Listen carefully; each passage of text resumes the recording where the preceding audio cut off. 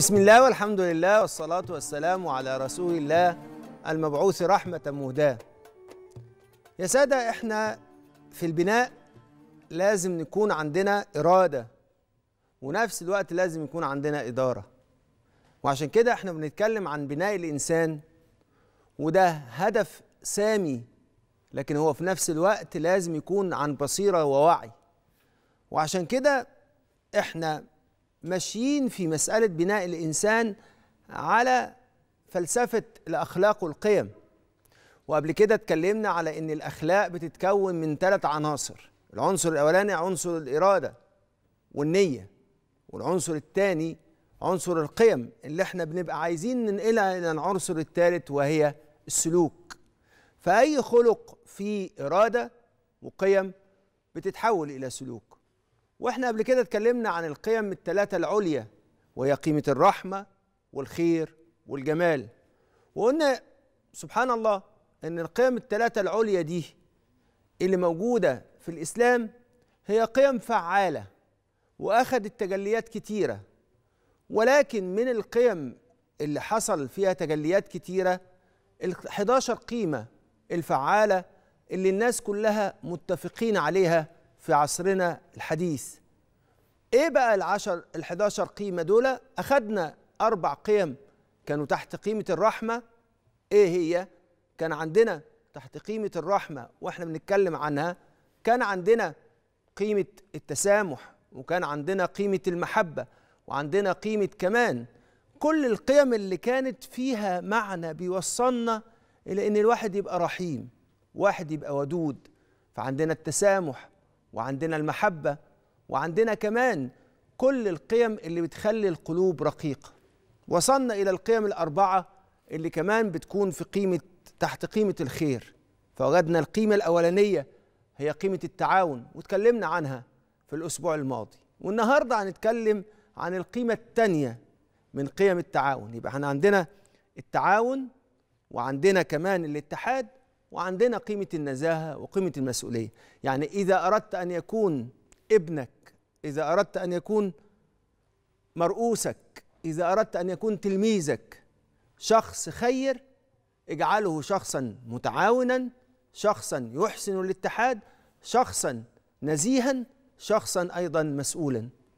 وإحنا اتكلمنا عن التعاون والنهاردة هنتكلم على قيمة عجيبة. قيمة تخلي الإنسان حاسس بمعنى المدد. قيمة تخلي الإنسان حاسس بمعنى ليه الله سبحانه وتعالى خلقنا متنوعين ومتعددين. قيمة هتجد فيها معاني من الرقي لا تجدها في قيمة أخرى مثل هذه القيمة. واعتصموا بحبل الله جميعا ولا تفرقوا. أيوة بنتكلم النهاردة عن قيمة الاتحاد.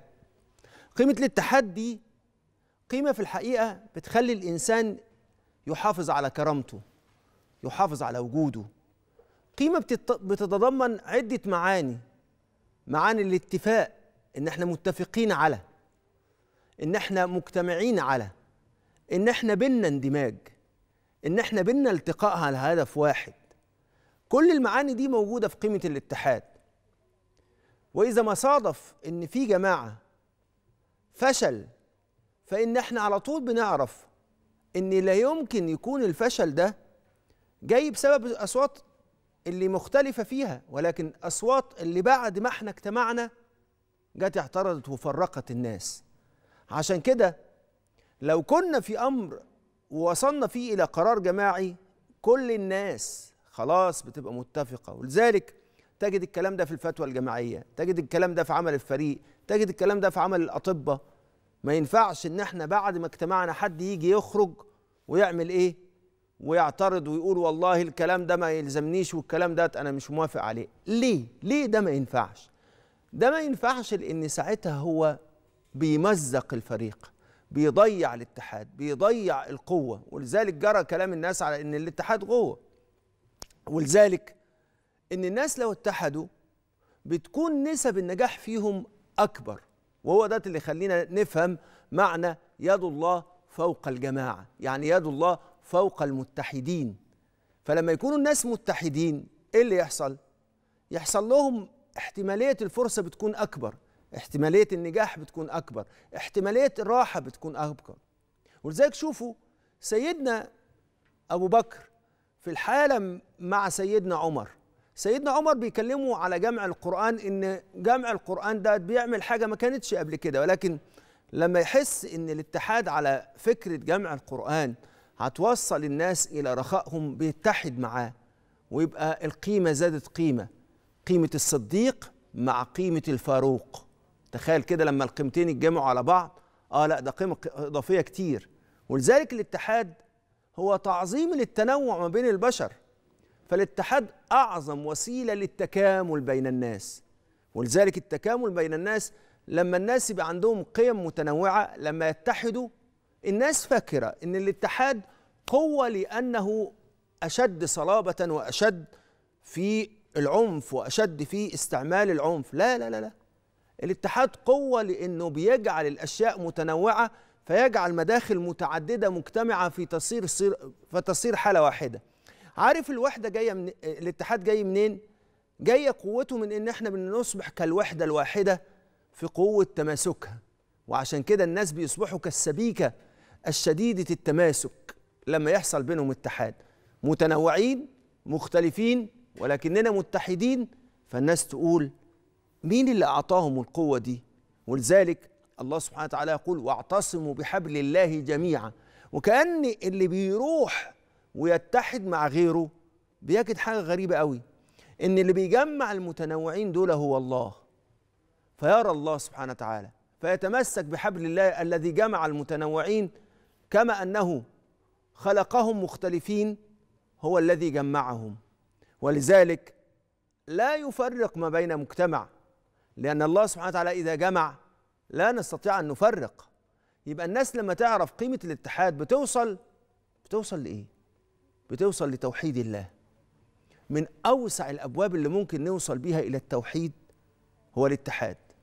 إذا اتعلمت إن أنت تتحد مع غيرك فبيكشف لك حاجة غريبة قوي. ولكن الله ألف. يبقى إيه اللي حاصل؟ مين اللي ألف ما بين القلوب وجمعها؟ الله سبحانه وتعالى. يبقى ساعتها يظهر للعباد جمال فعل الله في القلوب وجمال فعل الله في الاتحاد. يبقى إذن من أو دايما أقول كده من أوسع أبواب توحيد رب العباد الإيمان بقيمة الاتحاد. من أوسع أبواب توحيد الله سبحانه وتعالى الإيمان بقيمة الاتحاد. ولذلك شوف حضرة النبي صلى الله عليه وسلم لما جه يتكلم على الأشياء اللي بيستحق الإنسان عليها العقوبة قال والمفارق لدينه المفارق للجماعة. يعني إيه؟ وكأن هو بيفارق الجماعة بيفارق الدين ليه؟ لأن الدين جاء ليتحد الناس ليجتمع الناس. فلما هو يبعد يبقى كأنه بيضيع هذا الاعتصام. وزيك حضرة النبي صلى الله عليه وسلم بيقول بيقول حاجة مهمة قوي. إن الله يرضى لكم ثلاثا ويكره لكم ثلاثا فيرضى لكم أن تعبدوه ولا تشركوا به شيئا وأن تعتصموا بحبل الله جميعا. واحدة واحدة. إيه اللي جاب هنا بعد إن إحنا نعبد الله ولا نشرك به شيئا؟ وكأن إيه ده؟ وكأن التفرقة والتمزق كأنه نوع من أنواع اتباع النفس وكأنه في معاني من معاني الشرك الخفي. اللي إيه اللي يحصل؟ أفرأيت من اتخذ إلهه هواه؟ الاتحاد يكسر النفس الأمارة بالسوء ويبعدك عن اتباع النفس الأمارة بالسوء ويخليك تتبع مراد الله سبحانه وتعالى لما تكون مع الناس. ولذلك نعيد الحديث تاني مرة تانية. ماذا يقول صلى الله عليه وسلم؟ إن الله يرضى لكم ثلاثا فيرضى لكم أن تعبدوه وألا تشركوا به شيئا وأن تعتصموا بحبل الله جميعا ولا تفرقوا. ويكره لكم إيه؟ ويكره لكم قيل وقال تفرق وكثرة السؤال تفرق وإضاعة المال تفرق يعني ربنا سبحانه وتعالى يرضى لنا الاتحاد ويكره لنا التفرق والشقاق. يبقى اذا مش هتلاقي عمران حقيقي في الحياة ولا خير إلا بأن يجتمع المجتمع ويظل المجتمع متماسك. ولذلك أنا دايما بقول إذا كنا بنتكلم عن تجديد وظيفة العالم فمن أهم ما يقوم به وظيفة العالم أن يجعل المجتمع مرة ثانية إلى الاتحاد. يعني يخليه إيه؟ يرجع بالمجتمع تاني يعمل ترميم للمجتمع ليرجع, ليرجع المجتمع ليكون متحدا. لأن الاتحاد بيجدد حب الإنسان للحياة. أقول لكم الاتحاد بيجدد حب الإنسان لله لأنه بيجدد فيه الأمل. وينفي عنه الإحباط والكسل. ودايما دايما بقول إن عمود العمران حب الحياة. ورأس حكمة حب الحياة هو الاتحاد. وهو حب الحياة ده بيزيد وينقص يزيد بأمل وينقص بالإحباط والكسل.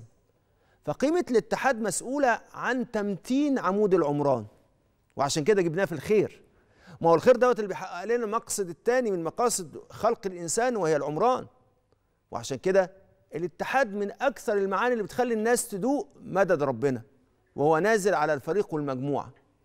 الاتحاد بيجعل الإنسان يخرج من الأنانية وكل المعاني اللي بتقلل الثقة وتقلل الاتزان وتطعن الإيمان في خاصرته. كل ما الإنسان يتدرب على قيمة الاتحاد وعاش بيها كل ما قلت عنه المعوقات السبعة للسعادة اللي إحنا دايما بنتكلم عنها اللي هي سمات الإنسان المعاصر اللي هي زيادة الفردانية وزيادة المزاجية وزيادة التشكك وزيادة المظلومية وزيادة الإحباط وزيادة الحساسية وزيادة العشوائية. الاتحاد يجي يخلص على على الآثار السلبية لهذه الصفات السبعة.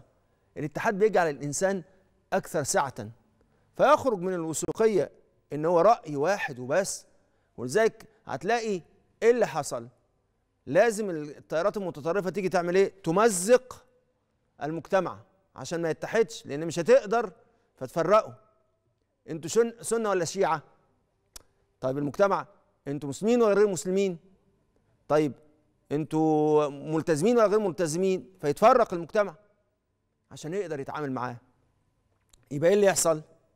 يبقى الإنسان يبقى المجتمع لو كان متحد إيه اللي يحصل؟ بيوصل إلى خير ربنا سبحانه وتعالى. ولذلك لما يكون الناس متحدين بيخرجوا من ضيق الحكم على الناس ويشوفوا جمال ربنا اللي أودعه في الخلق. فيتعاون الناس ويتحدوا ويعموا الخير. ولذلك تلاقي الشخص دائما الطيب هو أكثر الناس استعدادا للاتحاد ويبقى الإيد في الإيد بتتقارب القلوب وتتقارب الأفكار وتتكامل الأفكار ونعيش في سعادة وتيسير وسعة. وعشان كده الاتحاد شوف الاتحاد الاتحاد واعتصموا بحبل آه يبقى الاتحاد بيحصلنا الاتحاد كمان بيزود فينا الخير وبيرفع قيمته فهو بيزود فينا القوة صح. والبصيرة. ما بنبقاش بنشوف بعين واحدة بنشوف بعيون كتيرة. ويعظم ثمار ويعظم كمان الثمار. ده بينتج وده بينتج وده بينتج فالاتحاد يعلي ده. ولذلك انت عارف انه متعارف في الأسواق دلوقتي فكرة الإيه؟ الانتماج. يحصل انتماج عشان إيه؟ تزيد الإنتاجية ويزيد الإيه؟ ويزيد الحصاد. يبقى إذا إحنا محتاجين يبقى عندنا إجراءات بقى نعلم الناس فيها الاتحاد. تعالوا نشوف إزاي هنعلم أولادنا الاتحاد وإزاي إحنا نفسنا ندرب الناس الموظفين في في المؤسسات على الاتحاد. وإزاي نعلم الطلاب؟ وإحنا على وإحنا مع بداية العام الدراسي لازم نعلم كمان لازم يبقى في حاجة بتعلم أولادنا الاتحاد عشان نخرج من تفكك المجتمع. ونرجع مرة تانية إلى مجتمع متماسك يستطيع أن هو ينتج. مش هنقدر يبقى عندنا ثمار وإنتاج عظيمة. لازم نبني الإنسان على أنه متحد فيقدر ياخد قاطرة التنمية إلى الأمام. تعالوا نت... تعالوا نقول أول إجراء. أول إجراء عندنا لازم نتعود أن يكون في مهمة أسبوعية في الأسرة أو شهرية. بس لازم يبقى عندنا مهمة مهمة مشتركين عليها.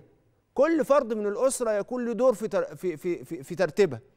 فمثلا لما نرتب حاجة بينا هنسافر فالأم تحضر الأكل ولا تحضر ترتيبات وتجهيزات السفر والأب يبقى مسؤول عن اشتراء الاحتياجات والأولاد يبقوا مسؤولين عن ترتيب برنامج الرحلة وكل واحد يبقى مسؤول.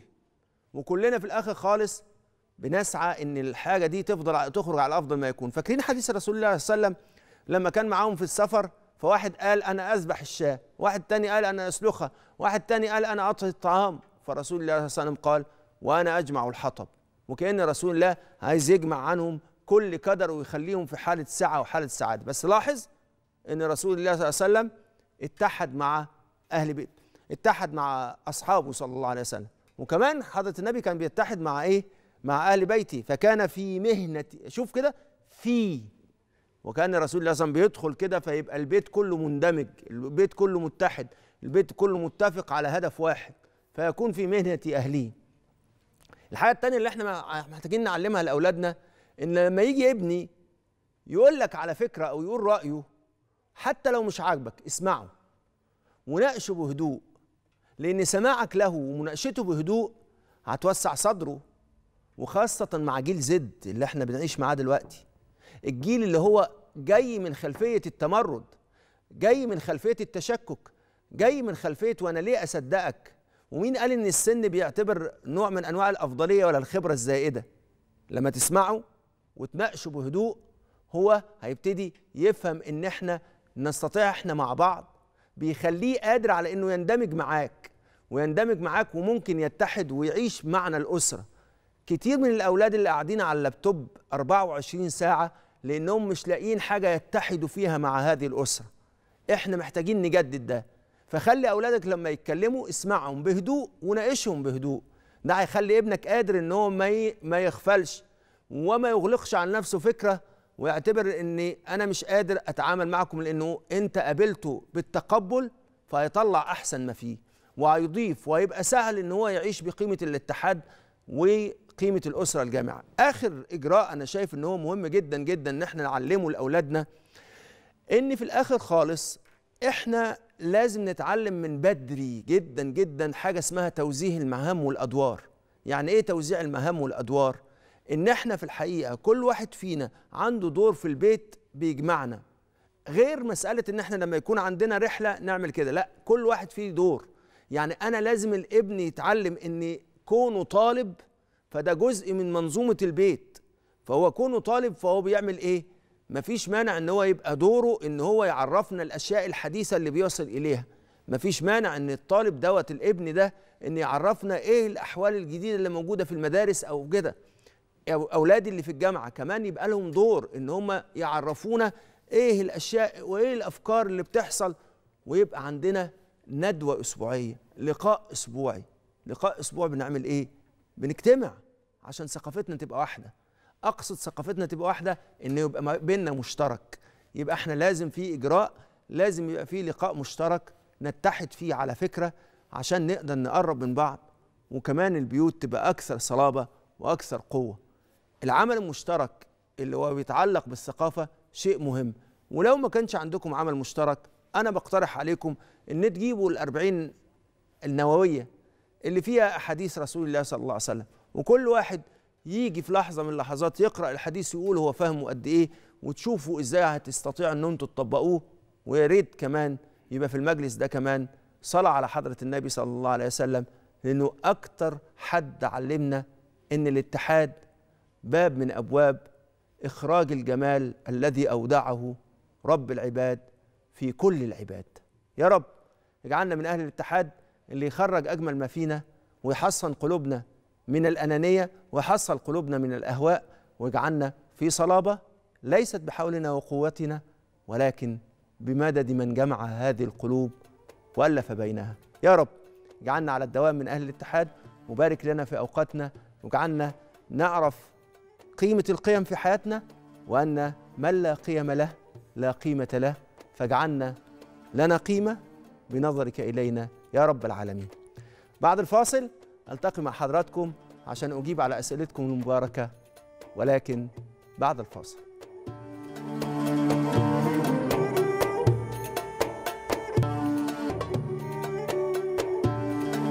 رجعنا لحضراتكم معانا صفحتنا على الفيسبوك صفحة برنامج ولا تعسروا. اللي هي في الحقيقة جسر من نور بيربط بيننا ويجعلنا دائما حاضرين في مجالس العلم ومجالس الذكر اللي دايما إن شاء الله تكون محفوفة بالبركات وبالأنوار واصلة للرحمن سبحانه وتعالى بالنور والفتح والتوفيق والسداد. معانا أول اتصال الحاج أحمد من القاهرة يتفضل. السلام عليكم وعليكم السلام ورحمة الله وبركاته. يا دكتور نعمة وفضل الحمد لله. بقول لسعادتك أنا كان ليا قطعه أرض في البلد طيب. وليا عمي هناك فوكلت ليه إن هو يبيعها لي. طيب. فباعها لي. حددت له حددت له السعر ولا حاجة؟ لا ما حددتلوش السعر. هو باعها لي واداني واداني فلوسها وبعد كده اكتشفت بعد كده إن هو باعها بسعر أعلى بالرغم من إن أنا اديته فلوس سمسرة زي سمسرة أو كده وخد من الراجل اللي هو باع له خد منه سمسرة واكتشفت بعد كده إن هو اكتشفت منين يا حاج اكتشفت منين يا حاج احمد من الراجل اللي هو باعها له. ما جايز الراجل ما بي- مش صادق يعني. في في عقود؟ في عقود. طب في عقود؟ في عقود آه ما هو مش انت وقعت؟ مكتوب- استنى بس، مش انت- مكتوب بأقل من السعر عشان آه، بيت- بيتحسب عليها ضرايب وكده.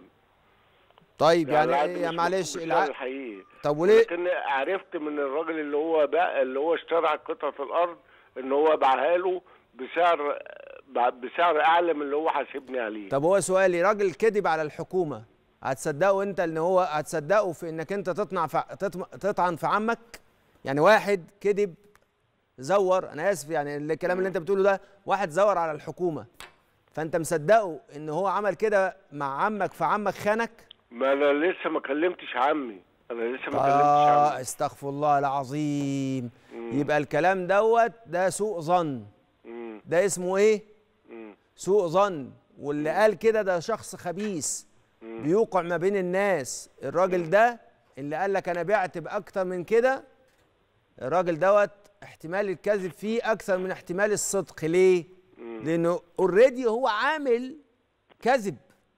هو كذب هو بيقول لك أنا كذاب كتبت العقد برقم وأنا اديت لعمك رقم. طب هو جاي يقول لك كده ليه.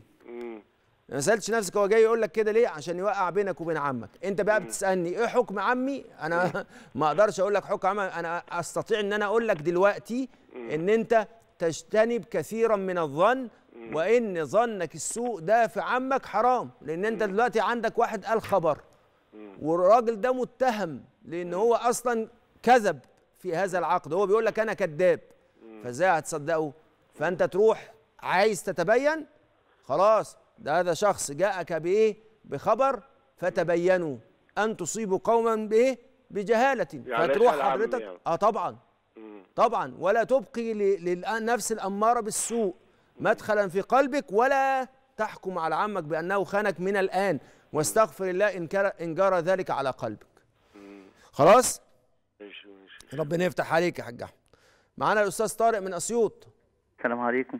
وعليكم السلام ورحمة الله أهلا بيك يا وبركاته. دكتور. نعمة وفضل الحمد ربنا لله. يزيدك.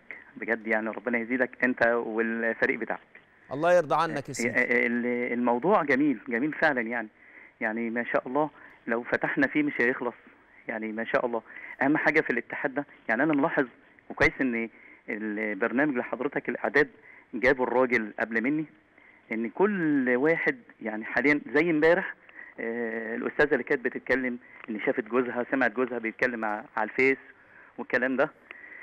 فبص حضرتك يعني آه، آه، هو أنا مش عارف يعني, يعني بيخلق أنا عايز أقول لك حاجة يا أستاذ طارق. أنا. أنا ملاحظ إن الناس اهتموا جدا جدا بهذا الجواب على هذه المرأة لأن هو في الحقيقة إحنا دايما إحنا شاطرين جدا جدا جدا إن إحنا نحسب قد إيه الناس أساءوا إلينا. لكن مش لكن إحنا الحقيقة يعني الله سبحانه وتعالى أمرنا.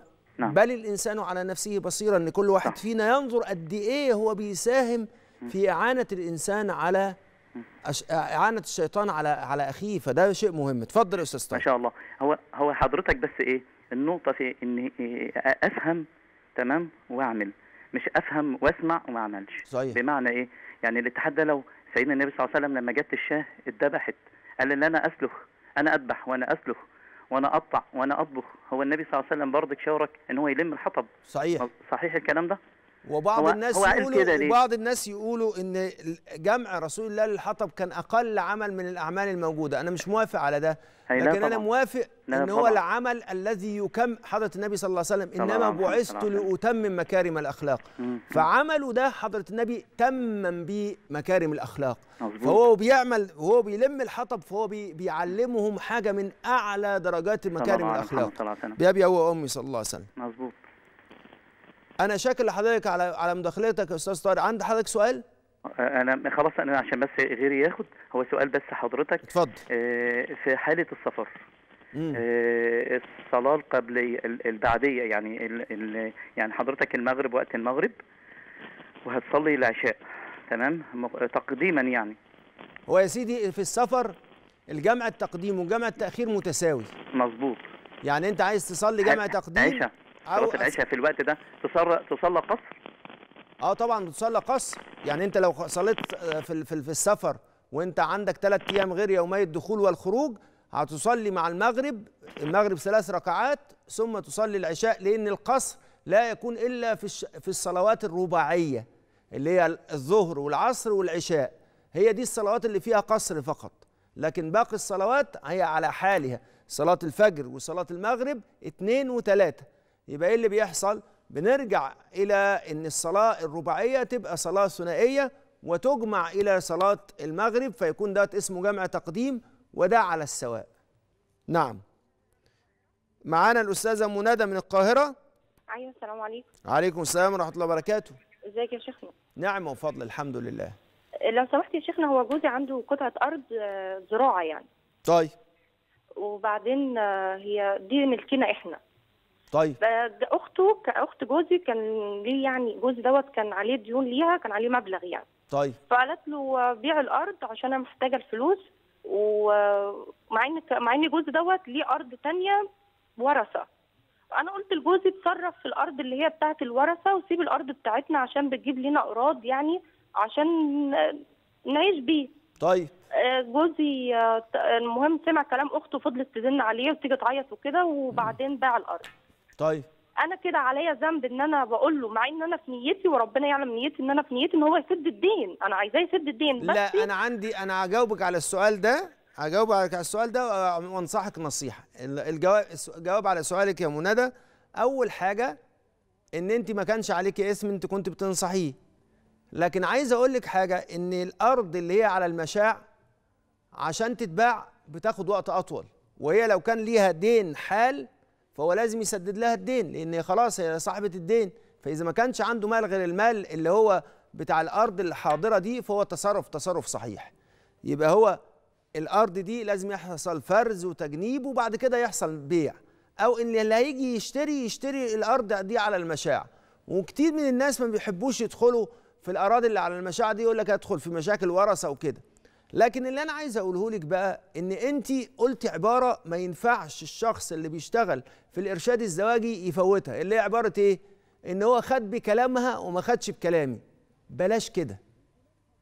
زوجك تصرف كأي رجل بيحترم الوفاء وقضاء الدين وربنا هيبارك له. لأنه إيه اللي حصل؟ لأن من أخذ أموال الناس يعزم على ردها بارك الله سبحانه وتعالى له وأعانه على قضاء دينه. جوزك عمل تصرف تصرف رجل نبيل إن هو الحل اللي قدامه لما حد يكون محتاج لأموال اداهوله. فأنا رأيي إن أنت ما تعملهاش كده. أنا ولا أخته؟ لا. جوزك تصرف تصرف قيمي أخلاقي.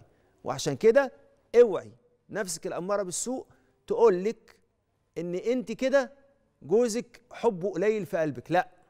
ده الراجل بيعمل عمل قيمي محترم فلذلك انت لازم تتفهمي ده.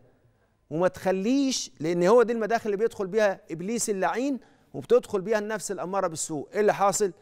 ده قدم كلام أمه. لا هو ما قدمش كلام أمه. هو تصرف التصرف إن الراجل النبيل يتصرفه لما يكون عليه دين. لما يكون عليه دين وصاحب الدين. الدين حل خلاص وصاحب الدين هو محتاجه الآن عليه إن هو يتصرف ويعطيه دينه ولا يؤخر عليه. فنصيحتي ليكي ما تخليش هذا الكلام يقلل مكانة زوجك في قلبك. معانا الأستاذ عمرو من الشرقية؟ آه يا فندم. اتفضل يا فندم. آه كنت عايز أقول لحضرتك يا فندم أنا عندي مشاكل عائلية كده مع زوجتي و... و... وزي ما تقول أنا حاولت بقدر الإمكان إن أنا أحل مرة واثنين وثلاثه وبعت ناس وأنا رحت بنفسي ووالدي راح. أنا كان عندي أخطاء آه كان عندي أخطاء والحمد لله من فضل ربنا قعدت مع نفسي ومعاها وحاولت إن أنا أصلحها وصلحت من بعض صلحت منها كتير يعني امم ويعني آه، حصلت خلال إن أنا كنت بصلح إن أنا كنت بصلح المشاكل دي كلها حصلت مشكلة بيني وبينها على حاجة يعني إن أنا كنت والدتي كانت محتاجاها شوية كان قبل العيد بيومين مثلا قبل العيد الكبير طلبت منها يا فندم وقالت لي لأ مش راحة وبطريقة مش كويسة وشتيمة وغلط. واسلوب ما كانش كويس يعني. امم إيه كان رد الفعل بتاعي إن أنا سبتها ومشيت وبعدين هي كانت طالبة مني طلب فأنا على هذا الأساس إنها رفضت إنها تسمع كلامي وما رضيتش اديه لها كان معايا كان معايا. بس رد فعلها ليا خلاني إيه اتزمت معاها. آه، آه، اللي حصل يا فندم خدت بعضها وفتحت باب البيت ومشيت من غير ما أنا أعرف. مم. والدي اتصل على والدها قال له لا ما حدش يجي لي يا عم الحاج ومشي ما علينا المهم حصل تطورات في الأمور. رحت مرة واثنين وثلاثه أستاذ عمرو إيه. أستاذ عمرو. أقول لك حاجة أنا راجل شغلتي في الإرشاد الزواجي كل آه. اللي حضرتك كل اللي حضرتك بتلفهولي كده زي ما بيقولوا كده بتلفهولي في سلوفان وتركنه على جنب وتلفهولي وتركنه على جنب وتلفهولي وتركنه على جنب كل الحاجات دي حاجات مؤثرة جدا جدا في اللي أنت هتسألني فيه اسألني في اللي هتسألني فيه وبعد كده هقول لك الحل يكون إيه لكن اسألني على طول في اللي بتسألني فيه لأن كل الكلام ده أنت حضرتك عايز تخلي ذهنيتي إن تروح لأن الست بتخرج من غير إذن جوزها. ده حصل يا كده؟ فندم. صح كده؟ وإيه تاني؟ آه. وإيه في غلط في إهانات يا فندم وفي طيب. الحل بتاع حضرتك. الحل بتاع حضرتك بص هقول لحضرتك لازم أفرق في مسألة حضرتك ما بين حاجتين. آه يا فندم. ما بين حسن الخلق والعشرة بالمعروف ما بين الزوج والزوجة وإن أنا أنزل الكلام ده على حالة حضرتك. ليه؟ آه أي حد يهين شريك حياته سواء كانت الزوجة أو الزوج فده حرام شرعا. لأن آه. الله سبحانه وتعالى أمر الطرفين وعاشرهن بالمعروف ولهن مثل الذي عليهن بالمعروف وعلى الزوج الاحترام والطاعة وعلى الزوجة كمان إن هي كمان تكون عندها طاعة رشيدة وطاعة فيها نوع من أنواع الحكمة. طيب آه. إيه اللي بيحصل؟ إحنا بنعمل شوية حاجات. أنت حضرتك قلت لي في أخطاء وفي كذا. فحضرتك فندم. بنتجاوز إحنا بنتجاوز ده كله وننسى الأثر النفساني اللي بيحصل ما بين الزوجين. وننسى ده كله وبعدين نيجي للزوج نقول له إيه؟ نيجي للزوجه نقول لها إيه؟ طعيني. وكأن إحنا بنتربص بيها وبنحطها في حالة صعبة عشان تقع في الخطأ. وهي نفس الكلام. تكون هي محسساه بالوجع و- وافسدت ما بينه وبين أمه وبعدين بتقول له إيه؟ لو سمحت خليك حنين معايا واستوصي بيها خير. مش معنى كده إن أنا بقول إن ده تبرير. أنا بقول ان ما يكفيش بس ان أنا اعرف الحلال والحرام وكل واحد يروح مطبق الكلام ده فيقول هي آثمة أو هو آثم. لا في مشكلة نذهب إلى جذر المشكلة ونحله. أنا شايف إن جذر المشكلة في الحقيقة هي مسألة إن حضرتك كنت محتاج تقدير واحترام من زوجتك ولم تحصل عليه. فإيه اللي حاصل؟ فانتقمت منها لأنها لا تعطيك احترامك وتقديرك فانتقمت منها زي إن أنت ما جبتلهاش الحاجة دي. إن الحاجة دي ممكن تكون هي حاجة في البيت هي مش هتعرف تطبخ بيها ولا ما تعرف تاكل ولا هتعرف تشرب فانتقمت منها. فالانتقام حرام لأن الانتقام فيه جزء من الظلم. إذا كان ده حقها فحضرتك ظلمتها. زي ما هي أساءت ليك وظلمتك حقك لما ما أديتكش الطاعة وما أديتكش التقدير الكافي ليك كسند وكرجل هي كمان أخطأت. يا سادة هكرر الكلام مرة تانية. لو سمحتم إحنا دايما الناس بتيجي آه، للمشايخ على الهوى أو يكلموهم على الهوى ويحاولوا يعملوا إيه؟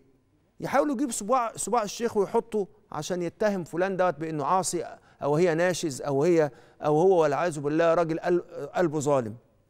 أنا بحذر المشايخ وبحذر اللي بيشتغلوا اوعى تقع في الفخ ده لأن في حاجات ما ينفعش إن أنت تجاوب عليها غير مع غير بوجود الطرفين.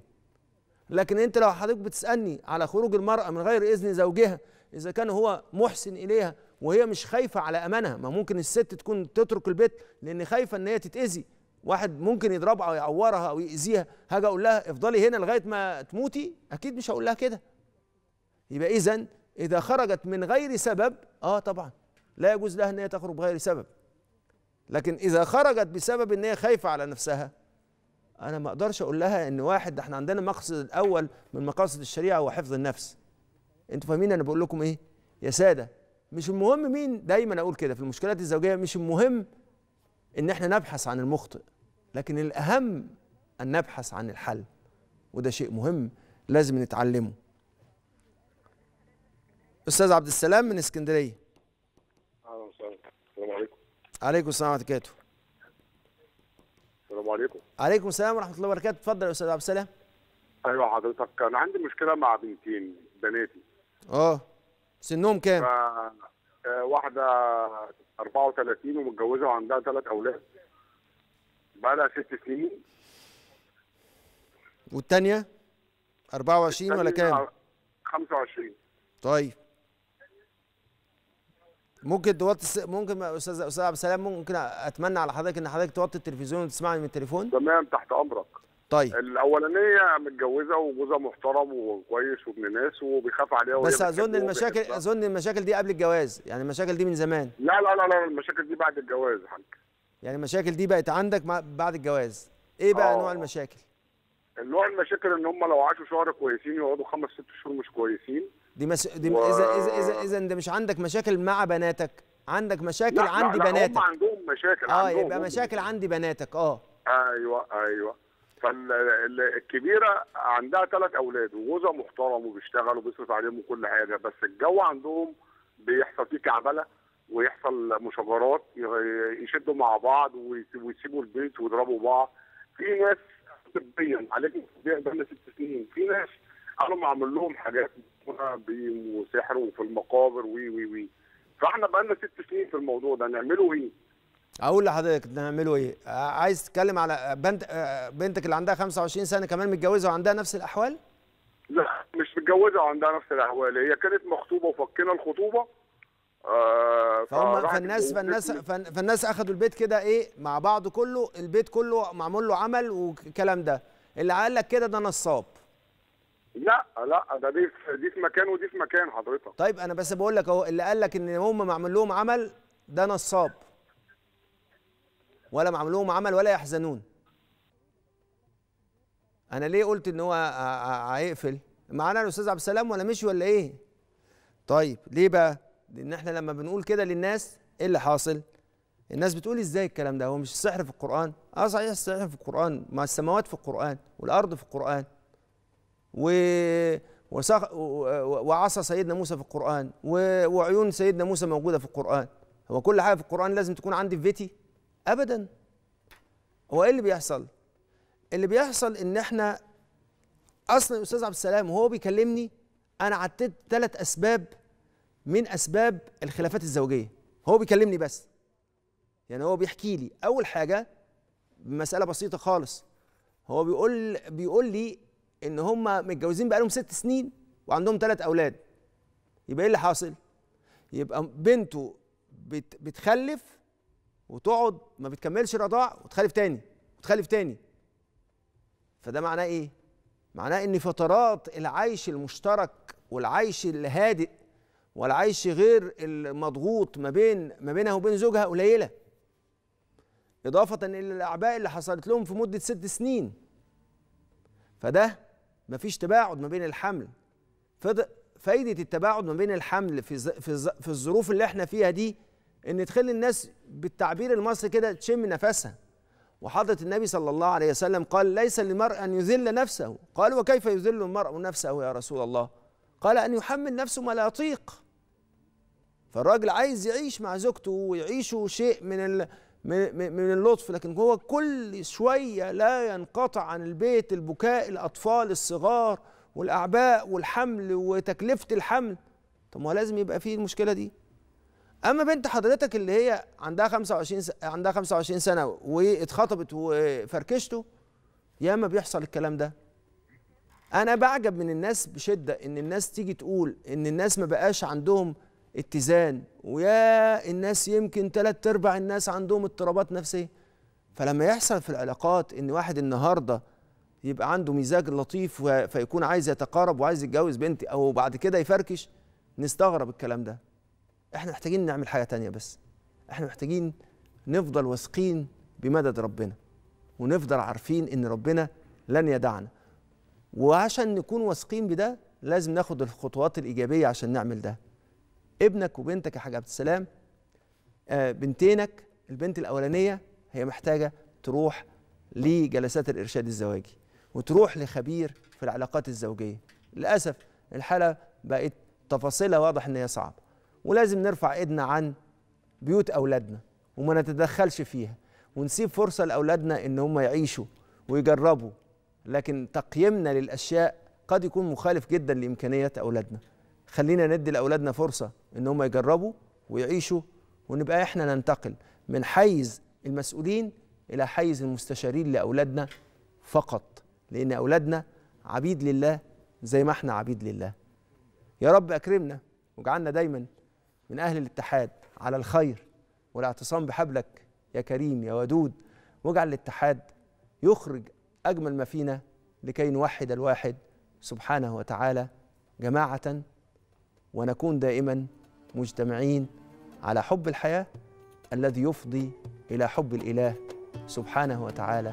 أكرمنا بمددك يا كريم يا رحيم يا أكرم الأكرمين يا رب العالمين.